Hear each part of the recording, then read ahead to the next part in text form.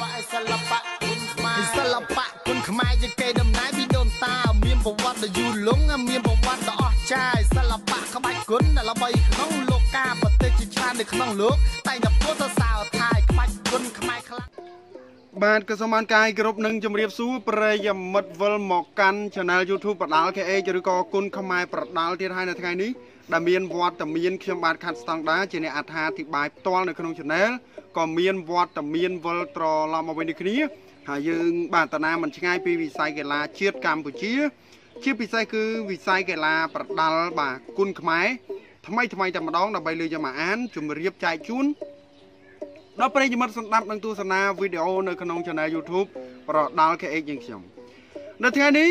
ខ្ញុំបាទបាទខាត់ស្តង់ដាក៏ដូចជាប្រដាល់ KH មានជាព័ត៌មានថ្មីដែលតាក់ទងទៅនឹងកីឡាករសុកធីហៅកាកា នឹងមានវត្តមានណាត់គ្នាជាមួយកីឡាករថៃវាយគ្នា នៅ ទឹកដីប្រទេសថៃថាតើសុកធីប៉ះនរណាគេឈ្មោះអីហើយវាយគ្នានៅថ្ងៃទីប្រមាណនៅខែណាឆ្នាំណា អាស្រានេះកុំឲ្យខាតពេល ចូលទៅសាច់រឿងដូចតទៅលើកមុនខកជើងជួបគ្នាម្ដងហើយឥឡូវនេះក៏ប្រកាសណាត់គ្នា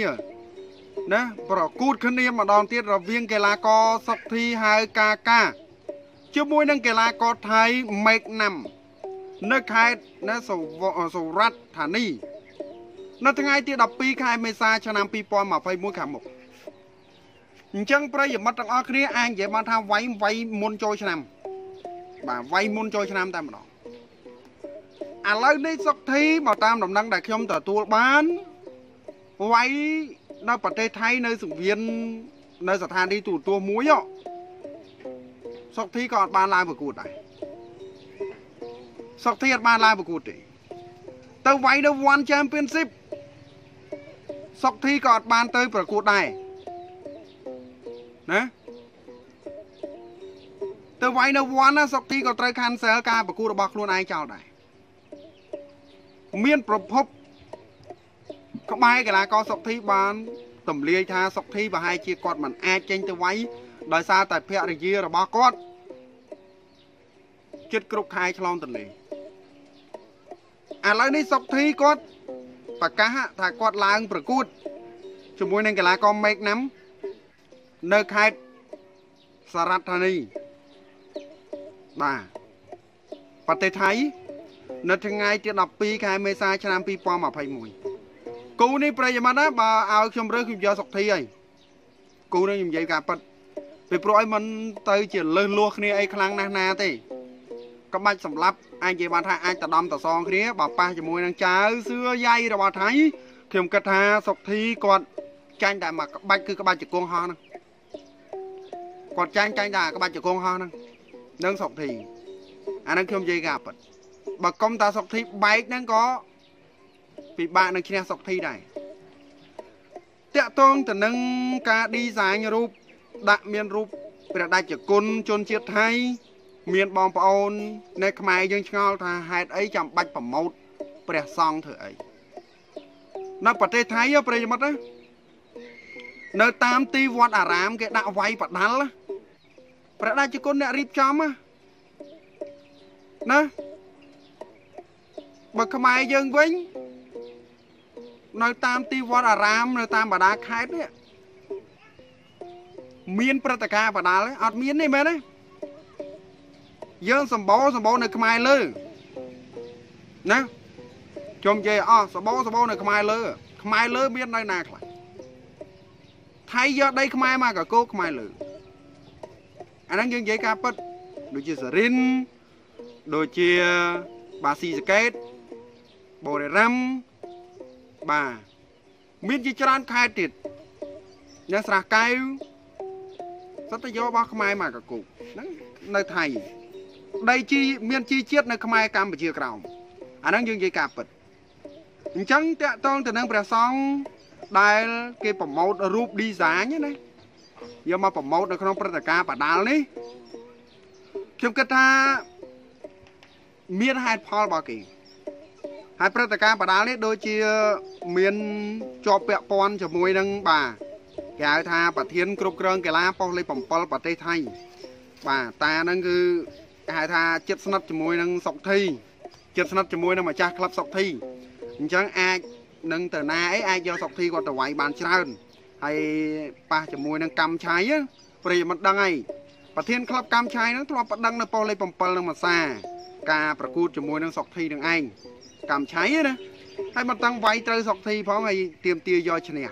យកច្បាប់ចាស់យកមកប្រកួតទៅមិនរួចបាទហ្នឹងយើងនិយាយកាប់អ្វីដែលដំណឹងល្អមួយទៀតសុកធីគាត់វាយនៅថ្ងៃបាទទី12ខែមេសាឆ្នាំ2021ខាងមុខនៅខេត្តបាទអឺសុរតធានីប្រទេសថៃត្រូវប៉ះនឹងមេកណាំដំណឹងល្អទី2តាក់ទងទៅនឹងសុករិទ្ធសុករិទ្ធចាក់វ៉ាក់សាំងរួចរាល់ហើយ ហើយកំពុងតែ ហាត់ឈុតជំរឿជាតិ kickboxing ណាអានេះខ្ញុំនិយាយការពិតឲ្យសុកធីគាត់និយាយគាត់ថាកំអីក៏គាត់ត្រូវមកស្រុកខ្មែរវិញនៅខែ3ដែរដោយសារតែបញ្ហា COVID-19 អញ្ចឹងធ្វើឲ្យសុកធីមិនអាចមកបានបើតាមដំណឹងគឺត្រូវមកប្រកួតដណ្ដើមខ្សែក្រវ៉ាត់ផងនិយាយឲ្យត្រង់តែម្ដងគឺវាយជាមួយប៊ុនសធាណាប្រិយមិត្តណាគឺវាយជាមួយប៊ុនសធា អញ្ចឹងស្ដាយដែរបើបើសិនជាដាក់អែមប្រិយមិត្តបាទប្រហែលជាអាចវាយទៅដើមខ្សែក្រវ៉ាត់គូបូតាផងគាត់ថាបានណាមានខ្សែក្រវ៉ាត់ណាទៀតប្រិយមិត្តដែលសុកធីបានលេខ3បាទកីឡាករបុណ្យសធាបានជើងឯកអានឹងយើងនិយាយការពិតបាទហើយបើប៉ះគ្នាដឹងល្អមើលហ្មងហើយខ្ញុំសុំចិត្តណែអ្នកនិយាយកីឡានៅតាមបណ្ដាញសង្គម YouTube ក៏ដោយ Facebook ក៏ដោយ អឺដឹងរឿងច្បាស់យើងចាំនិយាយតាក់ទងទៅនឹងកីឡាករលក់ឬក៏មិនលក់ពីព្រោះអីពីមុននោះសុកធីវាយខ្ញុំទៅជួបសុកធីនៅបាយ័នខ្ញុំបានសភាគាត់ធ្វើបែបហ្នឹងគឺអាចនិយាយបានថាដូចអាកលកីឡាករទាំងរស់ចឹងគាត់អត់តឹងលក់ផងតែចោតគាត់វាយខ្សែក្រវ៉ាត់ហ្នឹងលក់8000ហើយខ្សែក្រវ៉ាត់គូបូតាគូបូតាបានតែ6000ហ្នឹងហើយទៅលក់លក់លក់យកអីគេនឹងការប្រកួតជាមួយនឹង ប៊ុនសធាសុកធីគាត់ឈ្នះរហូតឈ្នះឈ្នះឈ្នះឈ្នះដល់ពេលមកចាញ់ប៊ុនសធាគេចោទគាត់ថាគាត់នឹងលក់8000ហើយខ្ញុំសភាគាត់កាលនោះខ្ញុំក៏ជួបលោកគ្រូសានសាយ៉ាន់ដែរខ្ញុំបានលើកទឹកចិត្តថាអឺសំខាន់គឺខ្ញុំអត់ជឿថាសុកធីលក់ចំណុចសំខាន់និងចំណុចមួយទៀតគឺខ្ញុំគិតថាគូតែប្រឹងប្រែងបន្តទៅទៀតកុំស្ដាប់សម្ដីមនុស្សមួយចំនួនចាំតែយកជើងរៀតទឹកអានឹងខ្ញុំនិយាយការពិត ដល់ប្រិយមិត្តណាបាទខ្ញុំនិយាយការពិតអញ្ចឹងបងប្អូនបាទចូលរួមខមមិនបាទលើកទឹកចិត្តដល់សុកធីផងហើយវាយនេះវាយតំណាងឲ្យឲ្យកម្ពុជាទេ បាទមិនមែនវាយតំណាងថៃអីទេកុំយល់ច្រឡំបាទមានអ្នកខ្លះថាអឺហាត់នៅថៃវាយតំណាងថៃតែមានមោទនភាពអីកីឡាករហាត់នៅក្រៅប្រទេសហ្នឹងអឺបើគិតចឹងចប់ហើយបាទហើយចូលរិចប៉ែន ហាត់នៅអាមេរិកបដូរមកវៀតណាមវាយដណ្ដើមខ្សែក្រវ៉ាត់ពិភពលោក WBA Asia ឬក៏ម្ចាស់ខ្សែក្រវ៉ាត់អាស៊ីភាគខាងត្បូងនេះផ្នែកបដាសកលគីឡូធ្ងន់នេះវាយមិនដាច់ចាញ់សោះនេះ5 6ប្រកួតចុងក្រោយអត់មានមោទនភាពអីចឹងអាល់បឺតវេរ៉ាជ័យនៅបារាំងម្ចាស់ខ្សែក្រវ៉ាត់14គ្រឿងហាត់នៅបារាំងអត់មានមោទនភាពអីចឹងជេសាខាន់